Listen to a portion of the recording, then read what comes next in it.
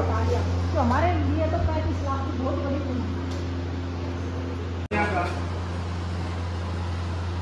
आज हम आए हैं भवानी गाँव में, जहाँ पर बनारसी देवी जी ने अपने साथ एक सेल्फ हेल्प ग्रुप बना के दूसरी महि- महिलाओं को जोड़ करके एक छोटी सी शुरुआत करते हुए अब इन्होंने एक लंबा सफ़र इन्होंने तय किया है। अचार मुरब्बा और जो है खाने के लड्डू, नमकीन, बहुत सारी चीज़ें बनाती हैं। और ये जो सफ़र इन्होंने कैसे तय किया, कैसे शुरुआत की, हालाँकि अभी बहुत लंबा सफ़र ये इन्होंने जाना है, लेकिन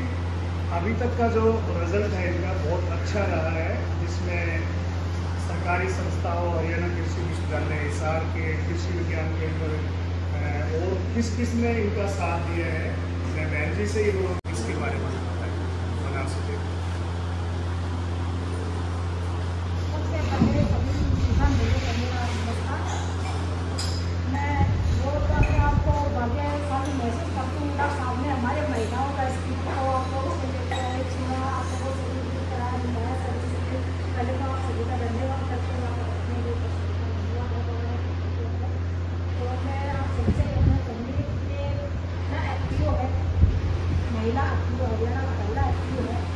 तो उस एफ़ के तहत पहले हमने सेल्फ हेल्प ग्रुप के तहत सब करके उसका हमने एक एफ़ बनाया महिलाओं का किसान एफ़ उस एफ़ और ग्रुप दोनों के माध्यम से हमने अपने ये छोटा सा एक काम शुरू करा उसके माध्यम से हमें के वी के से ट्रेनिंगें ली। के वी के ने हमारा सहयोग भी करा। हमें मैज बनाने का मशीनें हमें जितना उसका उन्होंने तरफ़ से हमारी मदद करी। उसके साथ साथ में हमें ये बागवानी विभाग से एक्टिव बना रखा है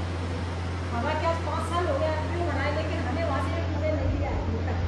जैसे वैसे ये हम अपने पास से लगा रहे हैं इनके हर साल सी ए का बीस पच्चीस हज़ार रुपया सी ए पे देखने का हमें और और ये सब बना सकता लेकिन हमें एफ़ से आज तक एक रुपये का फ़ायदा नहीं मिला है ये जो आज हमने बनाया है ये भी हमने अपनी मेहनत से बनाया नहीं है हम जेंट्स को कोई भी चीज़ करने में झिझकता नहीं है क्योंकि उनके पास पावर होती है सबसे बड़ी बात मैं ये चाहूँगी कि जेंट्स के पास पावर होती है लेकिन लेडीज़ का एक कदम भी डगमगाएगा तो परिवार और काम दोनों कर देते हैं लोग प्रेरित कभी भी बिज़नेस करने के लिए तो हम सारी चीज़ों को दायरा में रखते हुए इस बिज़नेस को आगे बढ़ा रहे हैं हम शुरुआत में जब हमें आधार का काम शुरू किया तो हम पचास पचास के जी ही आधार कार्ड करते इससे बच्चे नहीं डालते तो निकल जाता तो शुरू में खराब नहीं हो जाता क्योंकि अनुभव सब कुछ सिखाता है फिर हम कुंटल डालने लगे तो कुंटल आज हम दस कुंटल की बात है बीस कुंटल की बात है हमें कोई भी नहीं लग जाता क्योंकि हम उस चीज़ में काफ़ी सात साल से रेगुलर ये काम हम कर रहे हैं और आप जैसे मुलाकात डॉक्टर साहब से इनसे जैसे हमारा भी दिल खुल रहा जैसे कि हमारा माल तकरीबन अधिकारियों के पास बहुत ज़्यादा जाता है, हमें खाने से परिवार बहुत खुश रहता है बार बार मंगवाते हैं छोटी सी शुरुआत की भी हम डाले हमें, हमारा प्रोजेक्ट था दो करोड़ का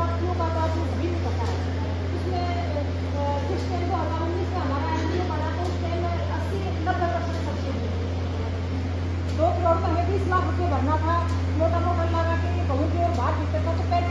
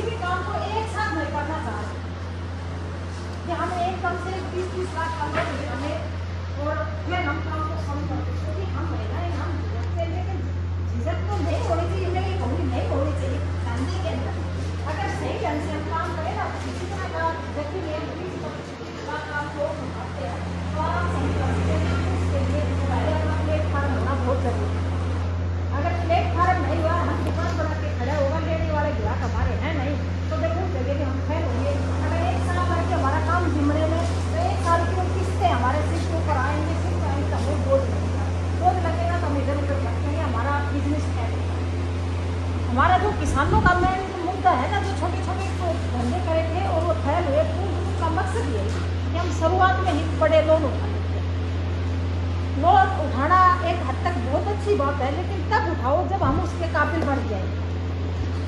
शुरुआत में हम छोटा करें अच्छा करें